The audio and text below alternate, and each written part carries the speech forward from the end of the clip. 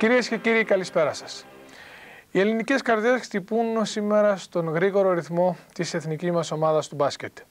Η εθνική μας ομάδα μπήκε στους 4 της Ευρώπης μετά τη σημερινή εκπληκτική της νίκης επί της Ιταλίας με 90-78. Νίκη που δικαίωσε όσους πίστευαν στην αξία αυτής της ομάδας. Οι Ιταλοί έκπληκτοι από την ήττα τους απλώς είπαν «Μπράβο Γκρέτσια». Την ίδια στιγμή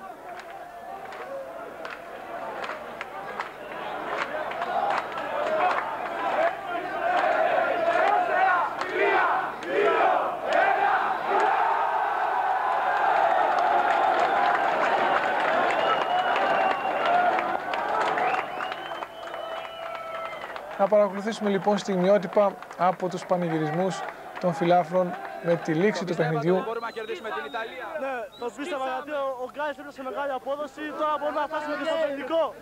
Τώρα μπορούμε να φτάσουμε και στο τελικό. Ρε πάρτε μας από εδώ. Σκίσαμε. Σκίσαμε.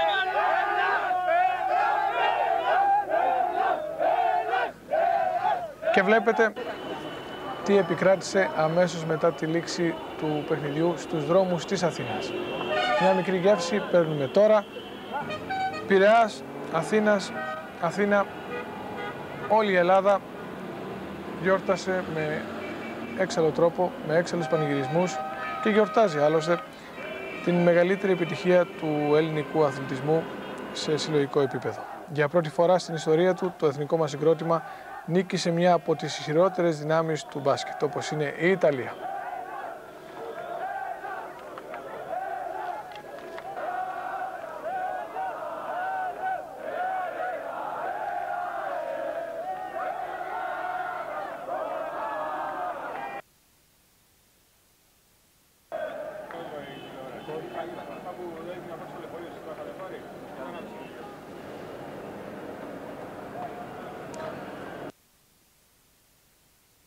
Στιγμιότυπα από τους πανηγυρισμούς στην Ομόνια.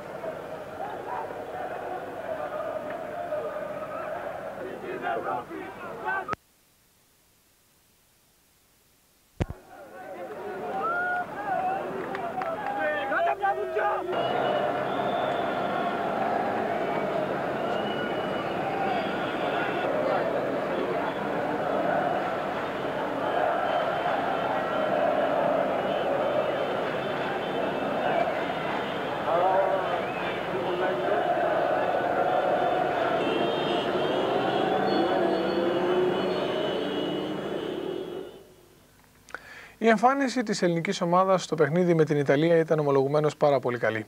Η νίκη της πέρα για πέρα δίκαιη. Οι Ιταλοί παίκτες δεν μπόρεσαν σε καμία περίπτωση να αντιδράσουν στο παιχνίδι των Ελλήνων παιχτών και από τα πρώτα λεπτά του αγώνα περιορίστηκαν στο ρόλο του κουμπάρσου. Πριν περάσουμε να παρακολουθήσουμε και να ξαναθυμηθούμε τις καλύτερες στιγμές από τον αγώνα, να δούμε πρώτα ένα ρεπορτάζ που ετοίμασε για την ελληνική ομάδα ο Βασίλης Κουντής αμέσως μετά τη λήξη του παιχνιδιού.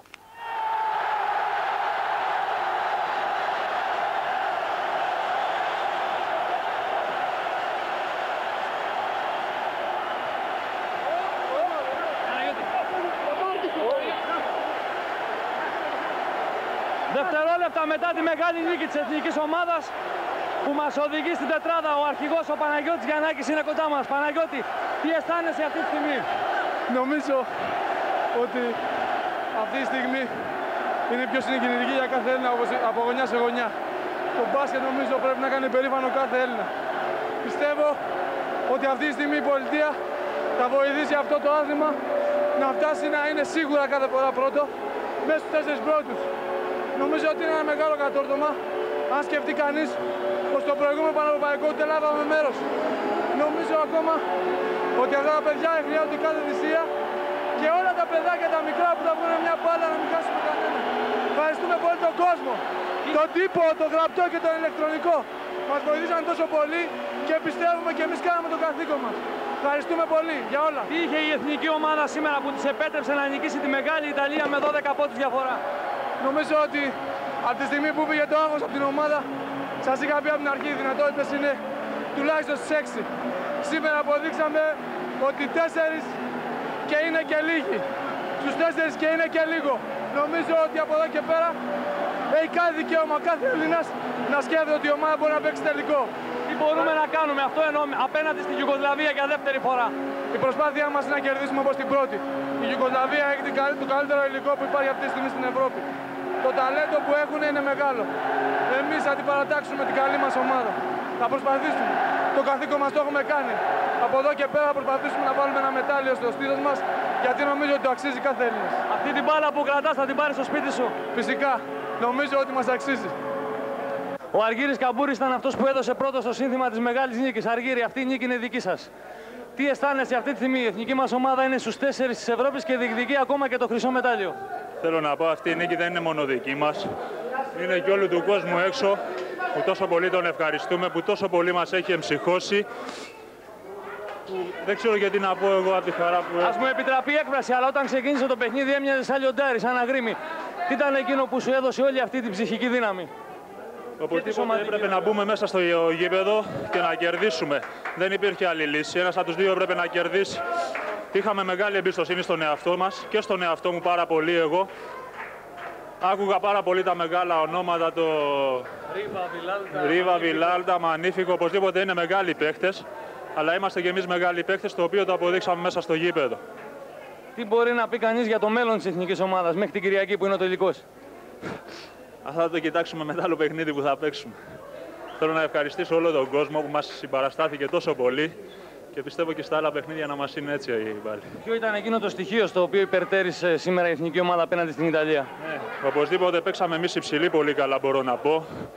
Ε, και κοντή πολύ θαυμάσια, διεκδικήσαμε τα rebound και ήρθε το αποτέλεσμα αυτό. Νομίζω ότι είναι η μεγαλύτερη βραδιά στην ιστορία του ελληνικού μπάσκετ. Νομίζω, οπωσδήποτε. Είναι μεγαλύτερη βραδιά. Δεν έχω να πω τίποτα. Δηλώσαμε ότι θα κερδίσουμε και κερδίσαμε. Τι ήταν εκείνο που έκανε την εθνική μας σήμερα μετά από 17 είτε σε 36 χρόνια να πάρει τη νίκη απέναντι στην Ιταλία και την, αυτή η νίκη την οδηγεί στη μεγαλύτερη διάκριση της ιστορίας της. Οι προηγούμενε ήττε δεν έχουν καμιά σημασία με αυτό το παιχνίδι. Φέτος έχουμε παρουσιάσει μια φοβερή ομάδα. Ε, προχωράμε για την πρώτη θέση. Νομίζω ότι μπορούμε να την πάρουμε. Τι θα χρειαστεί Είναι δηλαδή σε- από εδώ και πέρα; Και δεν είναι στις δυνατότητές μας. Πιστεύω τώρα προφήτης δεν είμαι, αλλά πιστεύω ότι και με τη Ιουγκοσλ- Ιουγκοσλαβία έχουμε ελπίδες. Ε, Πάνω σε δήλωσα ότι θα κερδίσουμε και κερδίσαμε σήμερα. Πότε, πότε πίστεψες ότι η ελληνική ομάδα είχε την νίκη στα χέρια της; Επειδή το, είχε συνέχεια μια διαφορά και οι Ιταλοί προσπαθούσαν να μειώσουν αλαμάτια. Για μένα φάνηκε από την αρχή από το ζέστημα. Μόνο που το σκέφτησα στα μάτια φάνηκε ότι δεν ήταν έτοιμοι να παίξουν. Ήξερα και τη ψυχολογία, ψυχολογία της ομάδας και ήμασταν σε πολύ καλή κατάσταση και πήραμε την νίκη. Αυτή α, η σημερινή νίκη και ενδεχόμενα ένα μετάλλιο ακόμα και το χρυσό. Πώς θα μπορούσαν να αξιοποιηθούν από το ελληνικό μπάσκετ για να μην είναι μια ευκαιριακή διάκριση; Κοίτα, αυτή η ομάδα έχει μέλλον. Δεν θα σταματήσουμε εδώ, ό,τι και να γίνει στους Πανευρωπαϊκούς. Είναι η πιο ευτυχισμένη στιγμή της ζωής της καριέρας σου από τότε που παίζεις στην εθνική ομάδα; Είναι μέχρι το επόμενο παιχνίδι.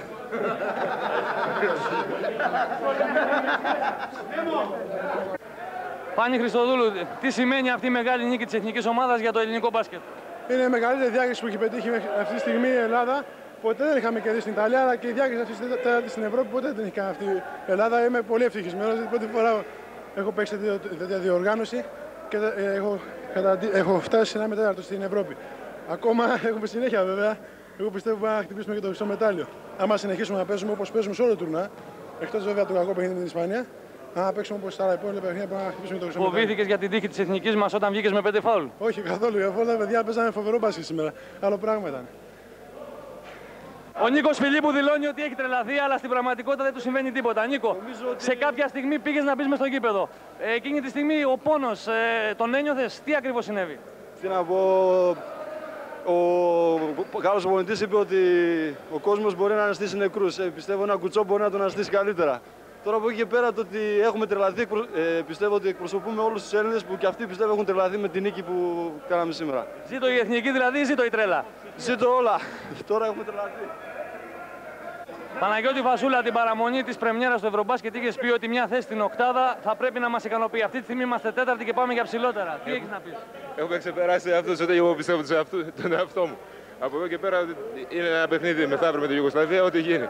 Αν κερδίσουμε θα πάμε για το τελικό. Τελικά, μήπως αποδείχθηκε σήμερα ότι έχει γίνει πολύ περισσότερη διαφήμιση σε μερικά ονόματα του ευρωπαϊκού χώρου; Σίγουρα έχει γίνει περισσότερη διαφήμιση σε ονόματα του ευρωπαϊκού χώρου. Εδώ Μέχρι και φυσιοθεραπευτές έχουν γράψει στις εφημερίδες ότι είναι καλύτερα από τους δικούς μας. Ποια ήταν η ωραιότερη στιγμή της εθνικής μας μέσα στον αγώνα; Ποια ήταν η ωραιότερη στιγμή μα. Η ωραιότερη στιγμή μας ήταν ότι όταν είχαμε περάσει πλέον 17 πόντους και παίζαμε. Κάναμε πλάκα. Τι να σου πω, το παιχνίδι το πήραμε άνετα. Πρέπει να είμαστε πολύ καλή ομάδα.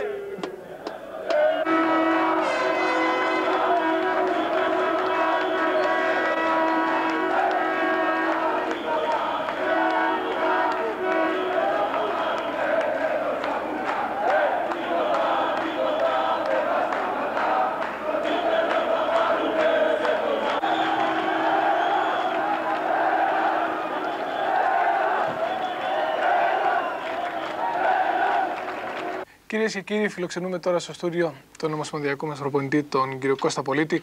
Κώστα, συγχαρητήρια. Περίμενες μια τέτοια νίκη. Ευχαριστώ πρώτα για τα συγχαρητήρια. Ε, περίμενα μια καλή απόδοση της ομάδας μου και με τη συμπαράσταση του κόσμου ότι ήμασταν πολύ κοντά στην νίκη. Δεν περίμενα βέβαια την εξέλιξη του αγώνος με τόση ευκολία να πάρουμε το παιχνίδι. Για μας για τον ελληνικό αθλητισμό πιστεύω ότι είναι μια σημαντική μέρα διότι είναι μια ιστορική νίκη από μια μεγάλη δύναμη σαν την Ιταλική ομάδα που στα 14 μεταξύ μας παιχνίδια ποτέ δεν την έχουμε κερδίσει.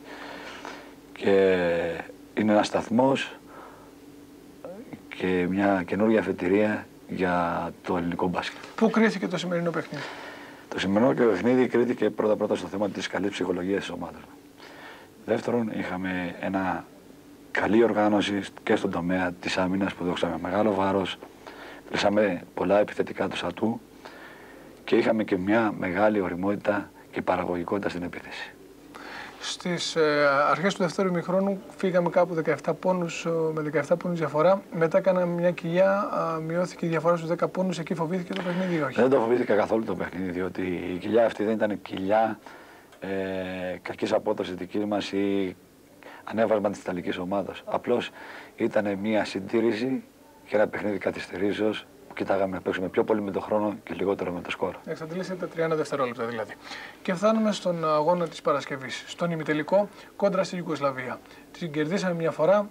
Τι πιθανότητες έχουμε να την κερδίσουμε και δεύτερη; Οι πιθανότητες είναι πάντα 50-50.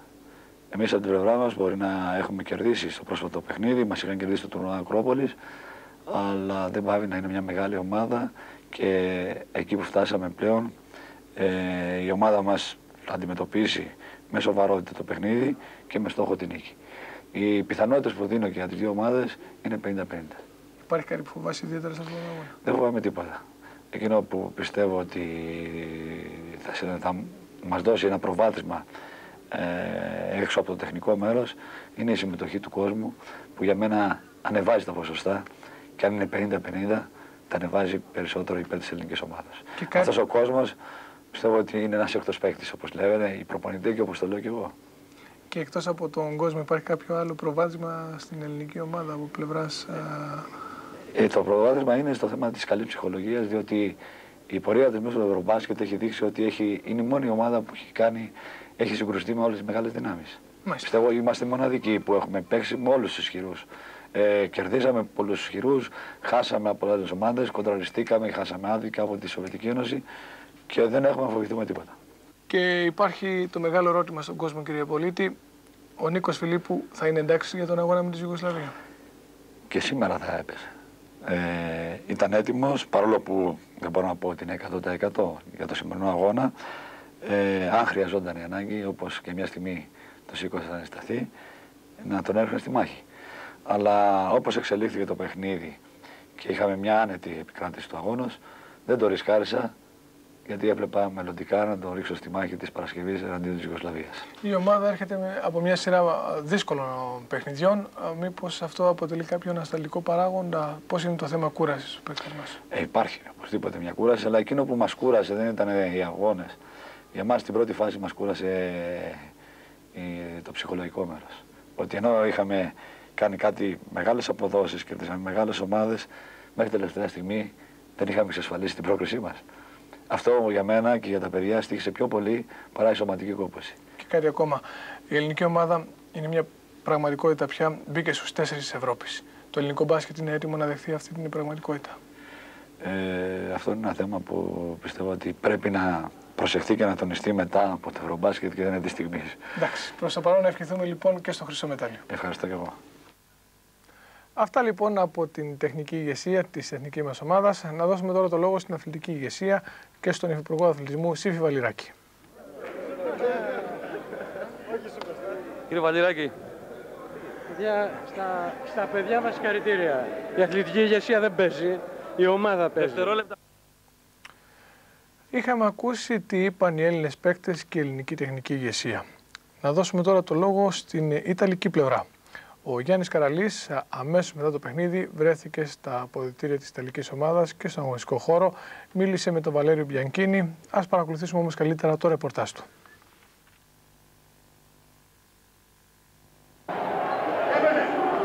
Αντωνέλο, Dimmi, cosa non ha lavorato bene con la squadra di στην Ιταλική ομάδα. Μα είναι αδύνατο να παίξεις αυτό το επίπεδο μας Είναι αδύνατο να παίξεις. Σήμερα δεν ήσουν ο Ρίβα που είδαμε στα πρώτα πέντε παιχνίδια. Τι συνέβη; Ναι, γιατί στο πρώτο ημίχρονο βρέθηκα δύο φορές κάτω το καλάθι για να σουτάρω και δεν μου έγινε μόνο ένα φάουλ, αλλά τρία και δεν σφυρίχθηκε τίποτα. Με αυτές τις συνθήκες δεν μπορείς να παίξεις. Κύριε Πιανκίνη, δεν ήταν τόσο καλή σήμερα η Ιταλική ομάδα, όπως δηλαδή στα πρώτα πέντε παιχνίδια. Γιατί συνέβη αυτό; Ήταν ένα παιχνίδι έξω από κάθε λογική. Έμοιαζε περισσότερο με αγώνα κυπέλου και όχι πρωταθλήματος Ευρώπης. Βρισκόταν κοντά μας ο κόσμος και από την καταπίεση αυτή, σαν νέα ομάδα που είμαστε, επηρεαστήκαμε και χάσαμε. Απ' την άλλη μεριά, βέβαια, υπήρξε μια Ελλάδα που έπαιξε έξοχα. Έπαιξε έξοχα όχι μόνο ο Γκάλης, μα και όλοι οι συμπαίκτες του. Μεγάλη πράγματι η εμφάνιση της ελληνικής ομάδας. Η διαιτησία ήταν άψογη. Εμείς μπορούμε να πούμε ότι το παιχνίδι αυτό στάθηκε μια παρένθεση στην ανωδική δημιουργική μας πορεία. Αυτά λοιπόν για το παιχνίδι της ελληνικής ομάδας με την εθνική ομάδα της Ιταλίας. Να ρίξουμε μια ματιά σε όλα τα αποτελέσματα της σημερινής ημέρας.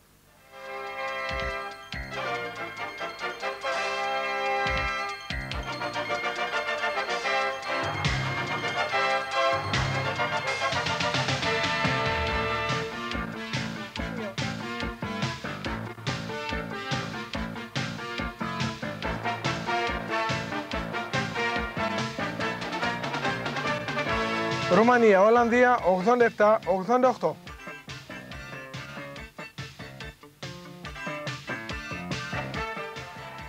Ιταλία, Ελλάδα 78-90.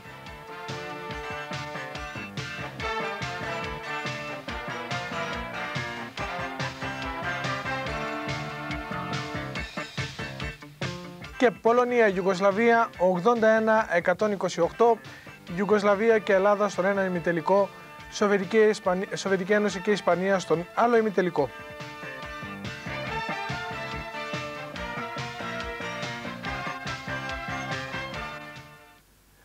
Να δούμε όμως τώρα τα στιγμιότυπα, τα κυριότερα στιγμιότυπα και από τις τρεις σημερινές συναντήσεις. Και ας ξεκινήσουμε τα στιγμιότυπά μας από την πρώτη συνάντηση. Ρουμανία-Ολλανδία. Αγώνας για τις θέσεις 9 12. Δραματικό παιχνίδι. Οι Ολλανδοί κέρδισαν δύσκολα με 88-87. Ο Σμίτς σε μεγάλα κεφιά. Ο πανύψηλος Ολλανδός, το νούμερο 10, πέτυχε 36 πόντους.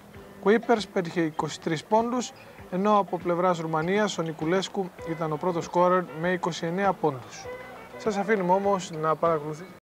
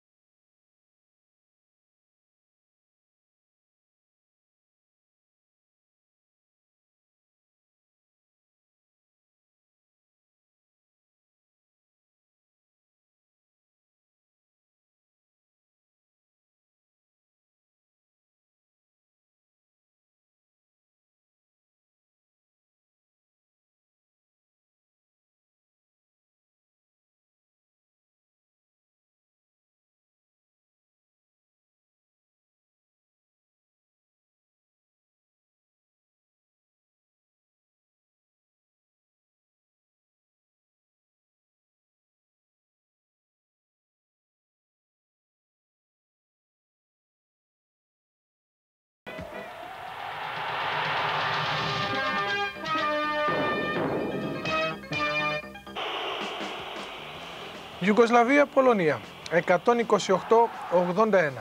Μια εύκολη νίκη της Ιουγκοσλαβίας που δεν πιέστηκε από τους αντιπάλους της. Ενώ ένα λάθος δικός μου περάσαμε στον αγώνα της ελληνικής ομάδας με την Ιταλία που ήταν και το δεύτερο παιχνίδι της ημέρας.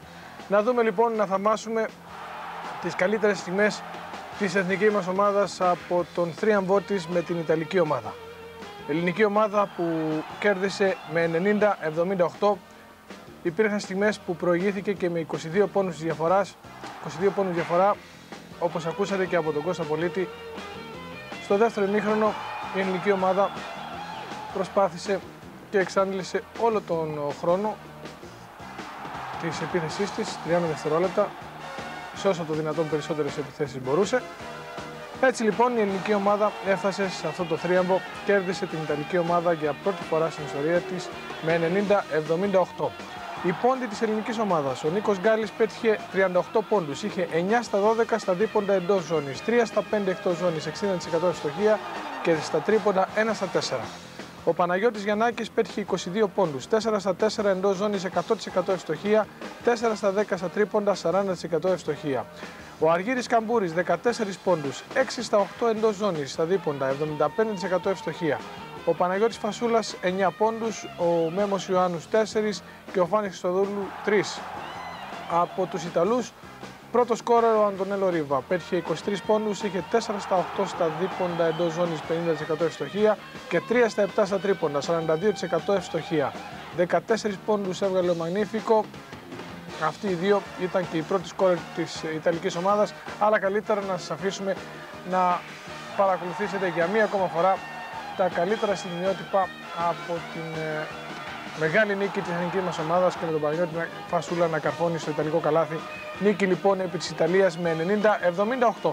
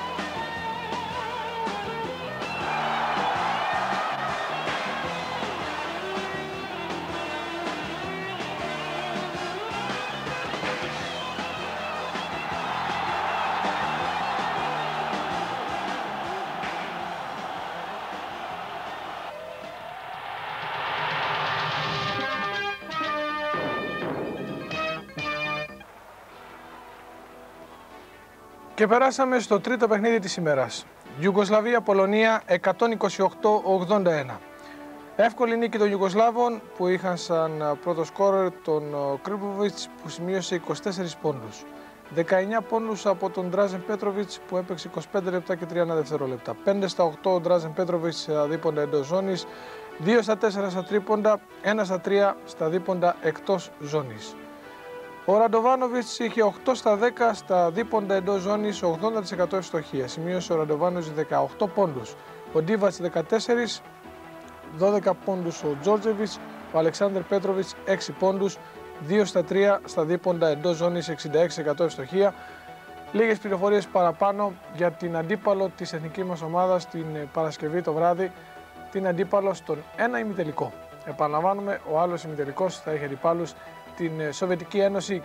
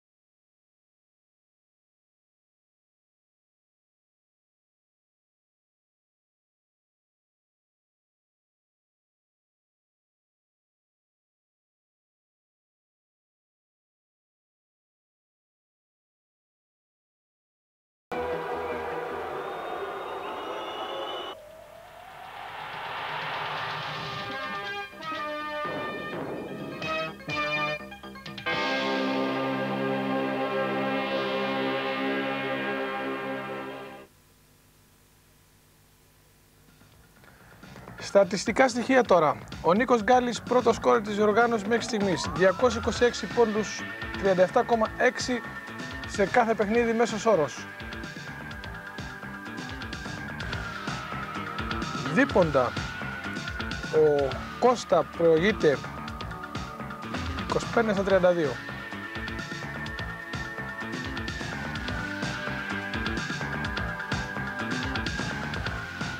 Τρίποντα, ποσοστά τρίποντων. Ο Κρούπβοης, ο Γιουγκοσλάβος, 9 στα 15.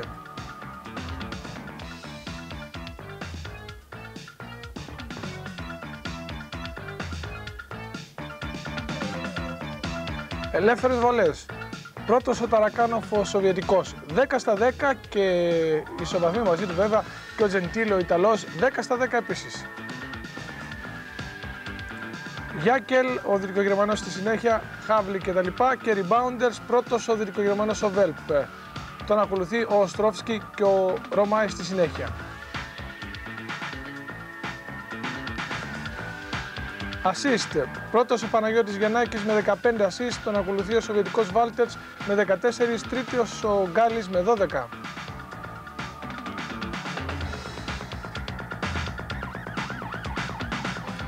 Κοψίματα. Πρώτος ο Παναγιώτης Φασούλας με 33 κοψίματα. Δεύτερος ο Γάλλος Βεστρής με 25 κοψίματα.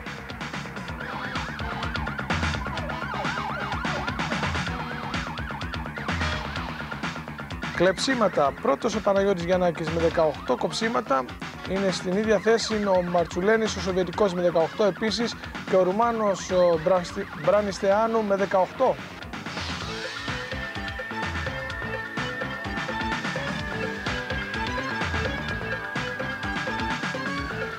Και η πόντι σε ένα παιχνίδι, περισσότερη πόντι σε ένα παιχνίδι. Ο Νίκος Γκάλης πρώτος με 44 πόντους σε ένα παιχνίδι. Ο Δυτικογερμανό Γιάκελς στη δεύτερη θέση με 42 πόντους.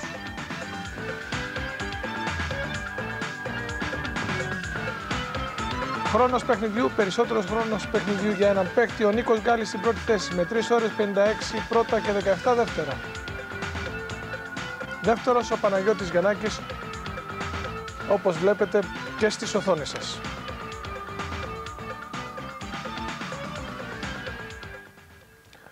Αυτά λοιπόν για τα στατιστικά στοιχεία.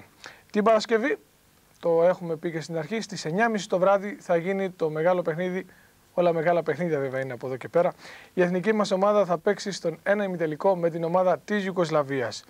Να έχουμε δει τι δήλωσαν οι διεθνείς μας, να δούμε τώρα τι δηλώνουν και οι Ιουγκοσλαβία. Παρακολουθήσουμε το σχετικό ρεπορτάζ ε, του Βασίλη Κουντή. Αμέσως μετά τη λήξη του αγώνα της Ιουγκοσλαβίας με την Πολωνία, μιλήσαμε με τον Κρέζι Μιρτσόσιτς και βέβαια πιο άλλο θα ήταν το θέμα μας από τον μεθαυριανό αγώνα Ελλάδας-Ιουγκοσλαβίας. Σήμερα η ελληνική ομάδα, είπε ο Ιουγκοσλάβος προπονητής, έπαιξε πολύ καλά και με εντυπωσίασε. Πιστεύω λοιπόν ότι και την Παρασκευή ο ημιτελικός θα απεχθεί σε πολύ υψηλά επίπεδα. Το ρωτήσαμε αν επηρεάσει ε, στον αγώνα της Παρασκευής το, η νίκη της Ελλάδας στον προηγούμενο γύρο και είπε αυτό θα μπορούμε να το πούμε την Παρασκευή το βράδυ. Σε άλλη ερώτηση αν φοβάται κάτι από την ελληνική ομάδα είπε ότι πάντα υπολογίζω την ελληνική ομάδα και τον κόσμο της. Είναι κοντά μας ο Γκόραν Γκρουμπόβιτς, ένας από τους καλύτερους παίκτες της Εθνικής Ιουγκοσλαβίας και θα τον ρωτήσουμε στην αρχή τι σημαίνει για την Ιουγκοσλαβία να ξαναπέξει ένα ακόμα παιχνίδι με την Ελλάδα, αυτή τη φορά ημιτελικό; Από την αρχή είχε πει ότι η Ελλάδα θα είναι μία από τι καλύτερε ομάδε. Ε, πιστεύει ότι η Ελλάδα θα, πάει, θα κατακτήσει ένα μετάλλιο και το μεταξύ του παιχνίδι θα είναι ένα δύσκολο παιχνίδι, μια πραγματική μάχη. Τι θα προσπαθήσουν να προσέξουν το οποίο ίσως δεν είχαν προσέξει το προηγούμενο παιχνίδι. Περιμέναμε να είναι τόσο πολύ καλή. Η ατμόσφαιρα του γηπέδου είναι πάρα πολύ καλή και αυτό επηρεάζει όλες τις ομάδες. Και όχι μόνο εμείς δεν περιμέναμε να είναι τόσο καλή η ελληνική ομάδα, αλλά ακόμα και οι Ρώσοι και αυτό φάνηκε από το παιχνίδι μεταξύ τους. Θα μας δώσει τα προγνωστικά του. Στα μίστη τη Αταμπούτε. Ε, είμαστε καλύτερα από ποιοτικής πλευράς σαν ομάδα. Θα προσέξουμε πάρα πολύ τον Γκάλι. Θα γίνει μια, ένα πολύ δύσκολο παιχνίδι. Αυτά. Προκρίθηκε λοιπόν η εθνική μας ομάδα στον ε, ημιτελικό. Θα αντιμετωπίσει τη Ιουγκοσλαβία. Όπως καταλαβαίνετε, κυρίες και κύριοι, όλος ο κόσμος θέλει να δει αυτό το παιχνίδι. Το βάρος των εισιτηρίων, το πρόβλημα των εισιτηρίων μπαίνει αυτόματα. Κοντά μας ο υπεύθυνος της διάθεσης των εισιτηρίων από πλευρά ΕΟΚ, ο κύριος Βασίλης Ζερβουδάκης, να τον ρωτήσουμε τι γίνεται με τα εισιτήρια της Παρασκευής.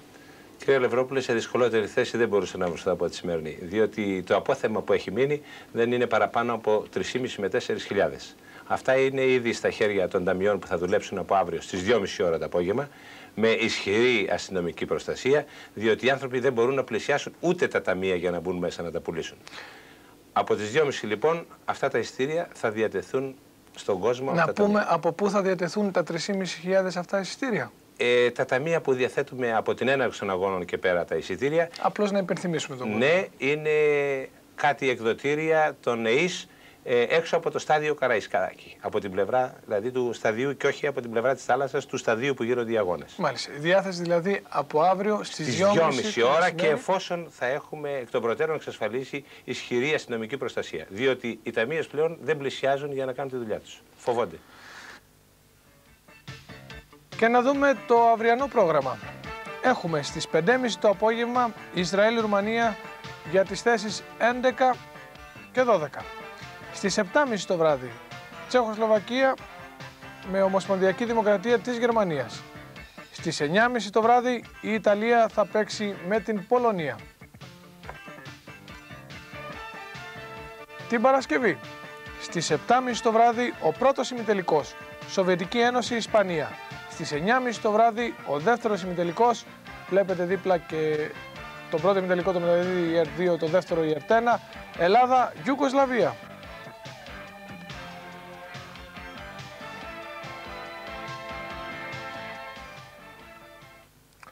Αυτά λοιπόν και για το αυριανό και μεθαυριανό πρόγραμμα, για την ενημέρωσή σας.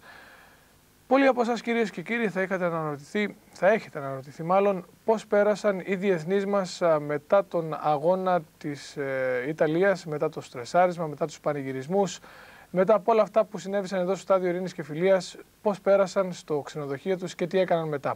Απάντηση σε όλα αυτά θα μας δώσει το, η εικόνα που ακολουθεί. Τα σημειώτηπα καταρχάς από το ξενοδοχείο της εθνικής μας ομάδας. Πλήθος κόσμου και φυσικά τι άλλο τα αυτόγραφα σε πρώτο πλάνο ο κύριος και η κυρία Γκάλη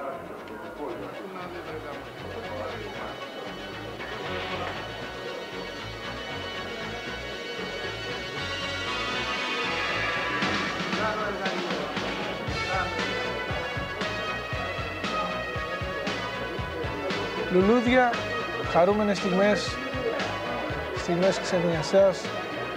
Ο Νίκος Φιλίππου, που μοιράζει αυτόγραφα, σίγουρα είναι καλά το πόδι του. Πανηγυρισμοί, ελληνικές σημαίες και πάντα μπροστά ο Νίκος Φιλίππου, ο Παναγιώτης ε, Καρατζάς, ο Νίκος Γκάλης, Μιχάλης Ρωμανίδης, ξεθραπευτής της ομάδας, ο Νίκος Σταυρόπουλος και παντού χαρούμενα νεανικά πρόσωπα που πανηγύρισαν μαζί με τους παίκτες μας την μεγάλη νίκη της εθνικής μας ομάδας. Και στη συνέχεια οι διεθνείς μας ήθελαν να ησυχάσουν κάπου. Έτσι λοιπόν κατευθύνθηκαν στο ναυτικό όμιλο Βουλιαγμένης για να διπνήσουν τα στιγμιότυπα είναι από το δείπνο αυτό 11 περίπου το βράδυ τα στιγμιότυπα που τραβήθηκαν από την ε, κάμερα της Ερτένα. Στο σημείο όμως αυτό κυρίες και κύριοι τελειώσαμε για σήμερα. Θα τα ξαναπούμε αύριο στις 12 ε, και 10 το βράδυ. Από μας καλή σας νύχτα, καλή σας μέρα και πάλι συγχαρητήρια για την εθνική μας ομάδα.